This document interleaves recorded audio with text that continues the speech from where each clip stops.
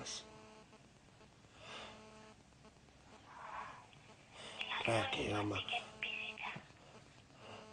ma keppisin kuu aega tagasi. aga ei ole ja. aga ma ei tea, kas ma võin sulle sellest rääkida, kuidas ma keppisin.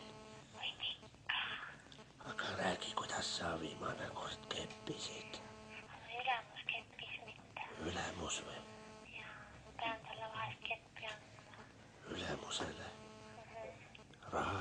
Mille pärast?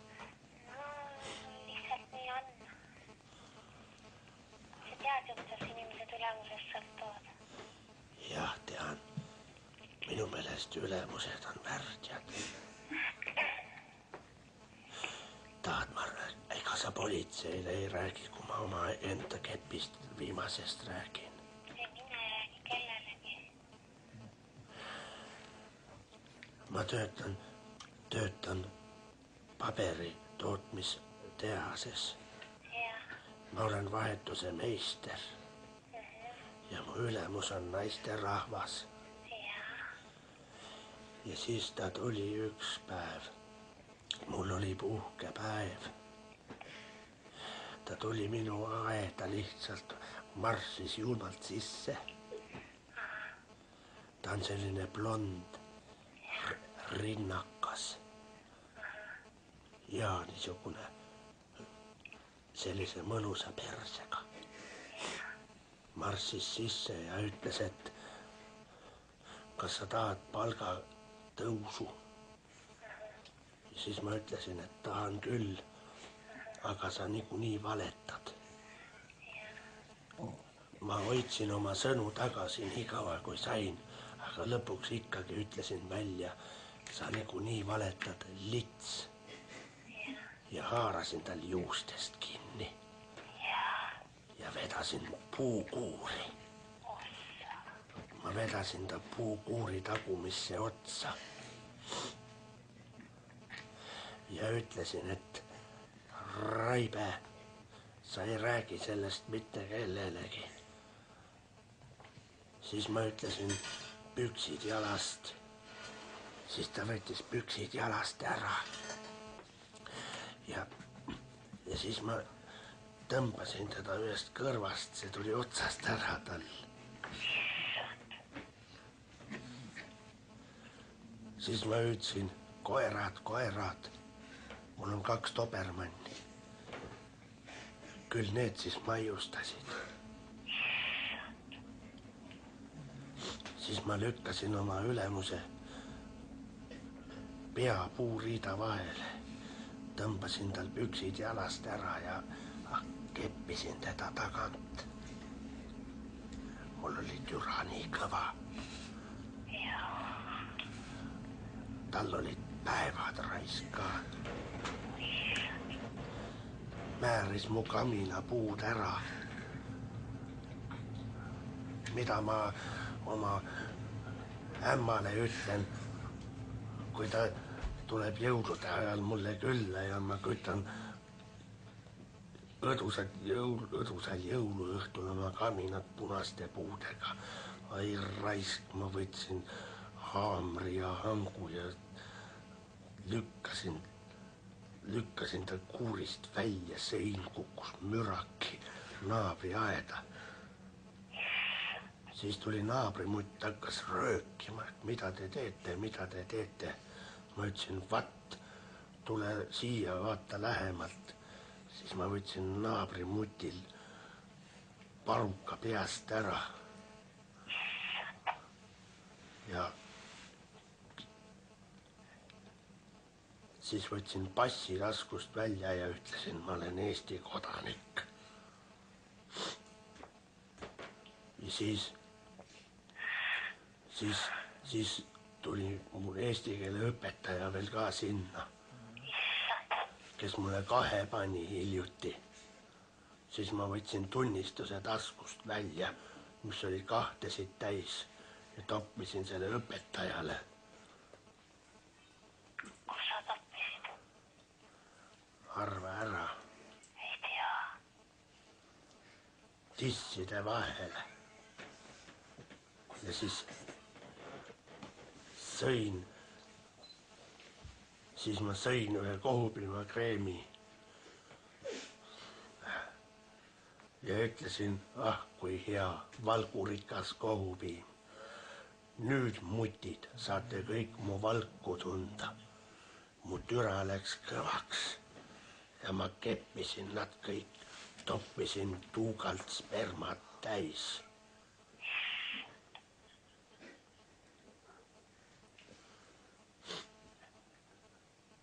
pärast eesti keele õpetaja pole kaks aastat julgenud mulle ühtegi hinnet panna.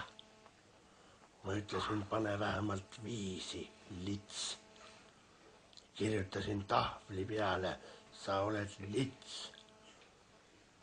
kõik lugesid, klassikaaslased ja kõik lugesid ja ma ütlesin, lugege, lugege värdjad tuupurid ja nussisin õpetajat jälle perse. teiste ees või? teiste ees jah. ja siis ma jooksin kiiresti, endal türa oli kõva ja lilla. jooksin tööõpetuse klassi ja tõin sealt nurgiku. ja mõõtle, mõõtsin, mõõtsin, mõõtsin ta persekannika ära ja ütlesin, see peab üheksakümmend kraadi olema.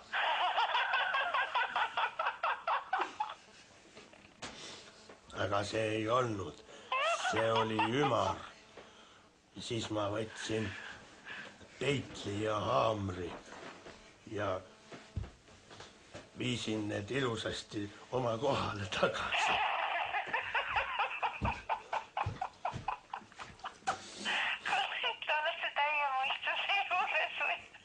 jah, olen küll ja ma kepin sind ka läbi, kui sa peaksid mu hoovi tulema, värdjas lits.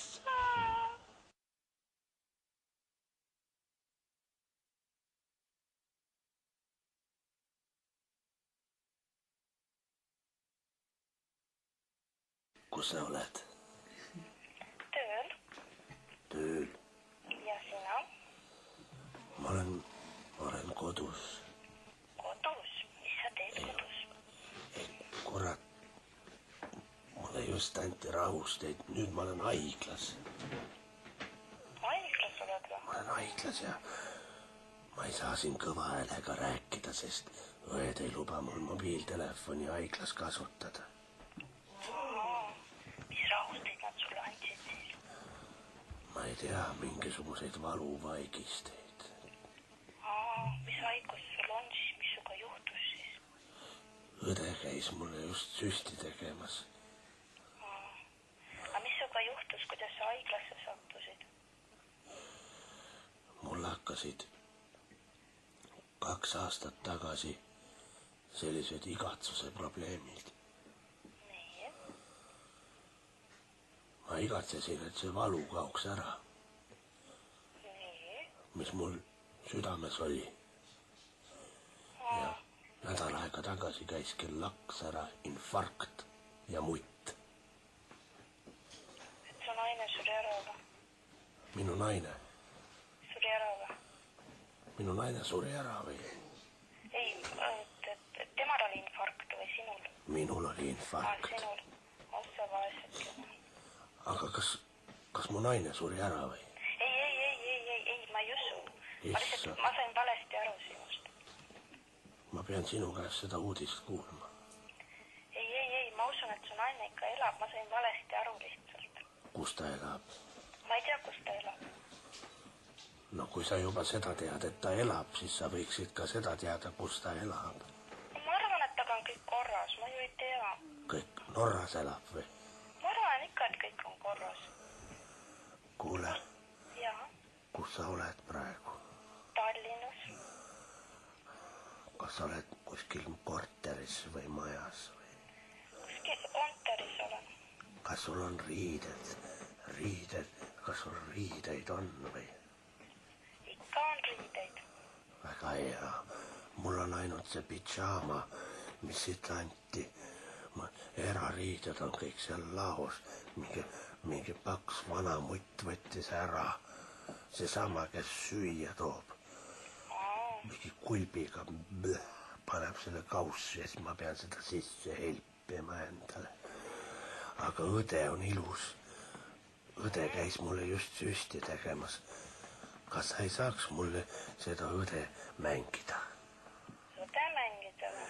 jah, no et nagu sa oleksid see õde, et sa tuled süstlaga ja teed mulle süsti ära, aga siis tuleb midagi veel. mm. ma tahtsin küsida, kus haiglas sa oled siis, kus linnas sa oled? ma olen Tartus Maarja mõisa haiglas.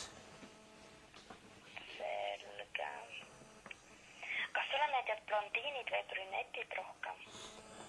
mulle meeldivad blondiinid blondiinid rohkem. ja brünetid ka, sulle meeldivad kõik naised? aga kumb sulle endale meeldib rohkem olla? no ma ise olen blondiin. Okei okay,, aga tule siis nüüd ruttu süstlaga minu voodi juurde, tee see süst ära ja siis ma haaran sul ühest kohast kinni. räägi, kuidas ma haaran. õrnalt haarad. mis kohast sa mul siis haarad? noh, kas jala vahelt või? kintsust kinni või? mis seal jala vahel on? mis seal jala vahel on või? lituke on. Missugune see on? see või? see on ilusti raseeritud, nii et ainult üks triibukene on seal peal. triibuke või? jaa, niimoodi lõikatud. issand, issand, issand. kas sa süsti tegid ära mulle või? ei, sa ju haarasid nii kiiresti, ma ei jõudnud ju süsti teha. kurat, oi noh, kurat, kurat, mul läks süst silma. kurat, kibe on. tee midagi, no ma puhun peale su silmale, siis ikka panen su kõhule ja võtan su ikka pepupaljaks ja siis panen võta. ja, ja siis teen õrnalt sulle pepu peale selle süsti ära. aitäh, kergem hakkas. hakkas kurat, kerge. nüüd too siiber, mul tuleb sita häda. no nüüd ma annan sulle siibri. pane, kuhu sa selle paned ma panen su nüüd selili tagasi. ja, nii, ja panen siibri sulle alla. ja sa ikka istuda saad või? ei saa, ainult laman ainult lamad. ja no siis ma panen siukse pardikujulise siibri sulle niimoodi kurat juba tuleb paska juba tuleb pask. ja no kas tuli pask ära juba või? mul läks nüüd kõvaks. nüüd läks kõvaks ka kohe. räägi, mis sa nüüd teed edasi mis ma edasi teen või? ja pühin su taguotsa kõigepealt puhtaks ja võtan siibri ära ja viin selle siibri ja teen tühjaks. miks sa mult siidri ära võtad? sa ju sittusid ära juba ju. ma tahtsin veel siidrit juua. siidrit juua. Kurat, sa tõid siidripurgi, ma sittusin seal täis nüüd. kuidas sa tegid? kas sa oled peast soe või? ma panin siibri. kurat, kurat, kui inimene, haige inimene tahab sittuda, siis ei panda talle siidripurki, kurat. kurat, sa medkoolis ei õpetatud seda või? Ja et ma veel, ja et ma veel viinapudelit täis ei sittunud. kurat, mm, siis sul peab ikka päris peen sitt olema, kui sa viinapudelisse sittuda saad. sul peab päris peen vitt olema, kui sa istu mulle näkku. ma istun sulle näkku. ja mis sa nüüd teed, kui ma sul näo peal istun? ma hammustan sind. Hammustad mind kannikast või? ei, ei, kust sa mind hammustad siis? ma hammustan sind persest. persest. kas kannikas ei ole siin pers- haiglas ei ole niikuinii muud teha. hmm. nii igav haigla või? ma hammustan sind ja ütlen, ma läksin no. kuhu sa läksid?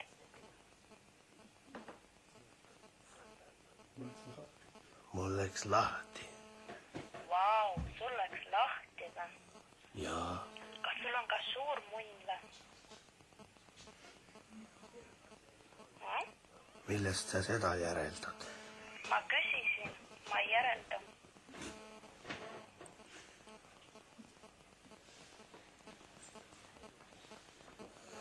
tead, mis ma sulle ütlen?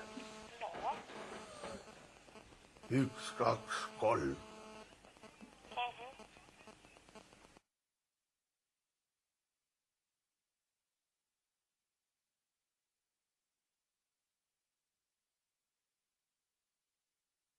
Tere tulemast nädalalõpp Kanal kahega stuudiosse Ürgmees Jan Uuspõld, tervist.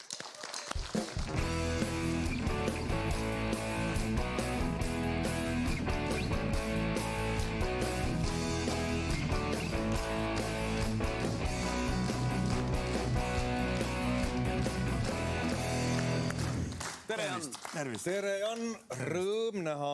jaa, no see ürgmees, tead, see jääb sulle külge, see on ikka selles mõttes